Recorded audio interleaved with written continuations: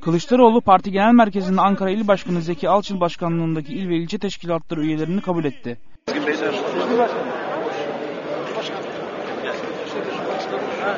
Burada konuşma yapan Kılıçdaroğlu kim kavga ediyorsa, kim şiddet kullanıyorsa artık onun bu partide işi yok. Başka partilere gidebilir ama CHP'de asla çalışamaz dedi.